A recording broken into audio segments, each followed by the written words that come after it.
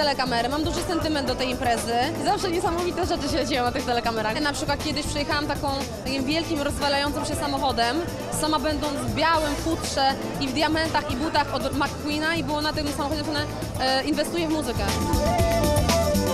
Osobowość telewizyjna, statuetka będzie należeć do pana?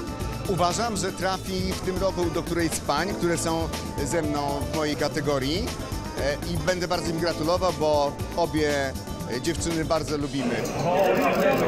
osobowość telewizyjna. Tak rok po roku, więc e, bardzo mi miło. Same najlepsze rzeczy mnie spotykają po 40. Czy w jakimś wyjątkowym miejscu stanie? No tak, Masz taką gablotkę? No mam taki, taki rzeczywiście długi blat, na którym stoją wszystkie nagrody, Mm, ale to wyjątkowa też, bo to jest taki, taki symbol dla mnie, e, że to właśnie kończy się najtrudniejszy i chyba najbardziej wymagający rok mojego życia.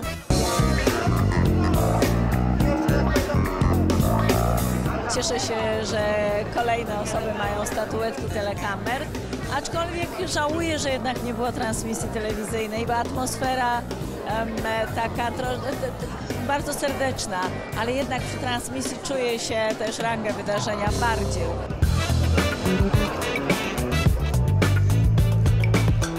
Nadzieją telewizji e, łzy szczęścia już wyschły. Już wyschły łzy, a rozmazałam się mocno? Nie, w ogóle, jest okej, bardzo okej. Tak. E, Jestem przede wszystkim w ogromnym szoku.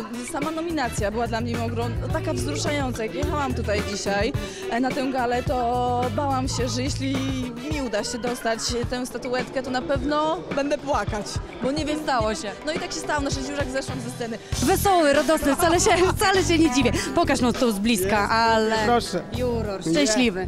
Bardzo, bardzo szczęśliwy. Uwielbiam e, tą nagrodę. To już moja druga statuetka.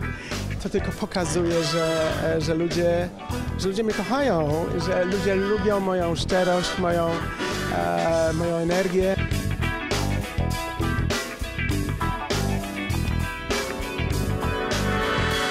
Jeżeli chodzi o nagrody telewizyjne, to innej nagrody większej niż e, złota telekamera nie ma. Rancho się skończyło.